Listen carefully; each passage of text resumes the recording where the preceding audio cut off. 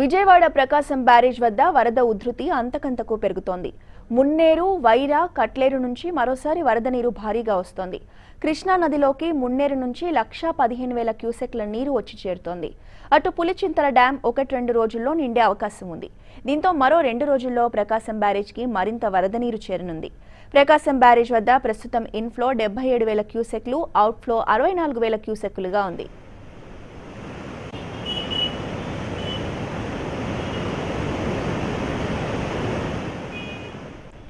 మరింత సమాచారాన్ని మా ప్రతినిధి లక్ష్మి అందిస్తారు.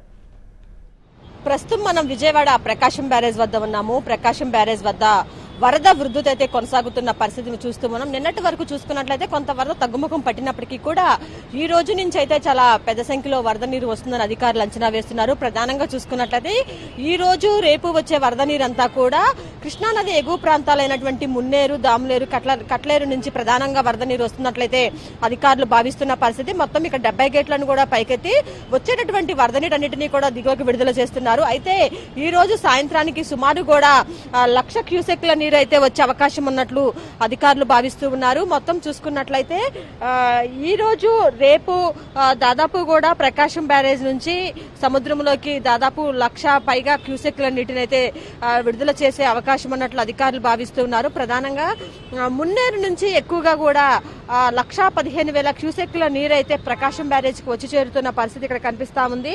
ప్రకాశం బ్యారేజ్ వద్ద ప్రస్తుత నీటి మట్టం పన్నెండు అడుగులు పన్నెండు అడుగులను కంటిన్యూ చేస్తూ వచ్చేటటువంటి వరద నీటి కూడా కొంత సాగు తాగు నీటి అవసరాలకు ఈస్ట్ వెస్ట్ కెనాల్ ద్వారా విడుదల చేస్తూ మిగతా నీటన్నిటినీ కూడా సముద్రంలోకి విడుదల చేస్తున్న పరిస్థితి మనకి ప్రకాశం బ్యారేజ్ వద్ద కనిపిస్తా ఉంది.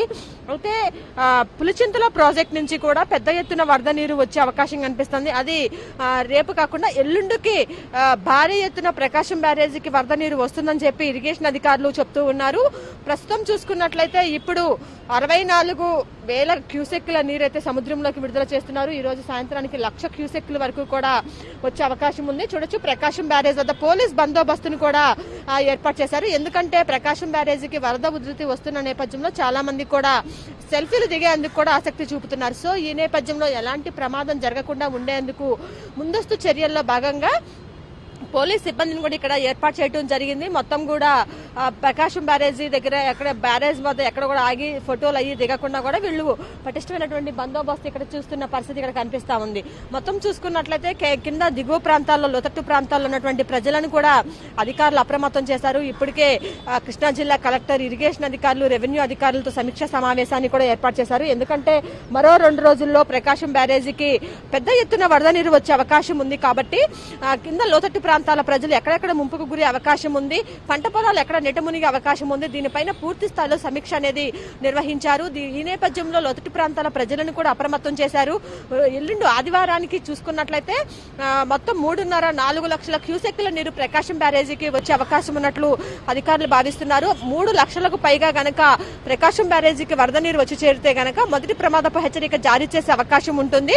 సో ఆదివారం మధ్యాహ్నం సాయంత్రానికల్లా కూడా మొదటి ప్రమాదపు హెచ్చరిక జారీ చేసే అవకాశం అయితే మనకి ప్రకాశం బ్యారేజ్ వద్ద స్పష్టంగా కనిపిస్తుంది. అయితే ఈ రోజు సాయంత్రానికి దాదాపు కూడా లక్ష క్యూసెక్ల వరకు కూడా వరద నీరు ప్రకాశం బ్యారేజ్కి వస్తుందని అధికారులు అంచనా వేస్తున్నారు. రేపు కూడా సుమారు లక్ష క్యూసెక్లు ఉండే అవకాశం ఉంటుంది. కాకపోతే ఎల్లుండికి మాత్రం భారీగా వరద నీరు పెరుగుతుంది కాబట్టి లోతట్టు ప్రాంతాల ప్రజలందరూ కూడా అప్రమత్తంగా ఉండాలి. ఎవరు కూడా చేపల వేటకి కూడా వెళ్ళొద్దని చెప్పి అధికారులు ఇప్పటికే సూచనలు జారీ చేశారు. ఎక్కడ ఎక్కడెక్కడ పోలీస్ బందోబస్తుని కూడా ఏర్పాటు చేసిన పరిస్థితి మనకి ఇక్కడ కనిపిస్తా ఉంది. ఇక్కడ ఉన్న పరిస్థితి. ప్ర- ఆ, కెమెరా పర్సన్ అశోక్తో లక్ష్మి టీవీ ఫైవ్ విజయవాడ.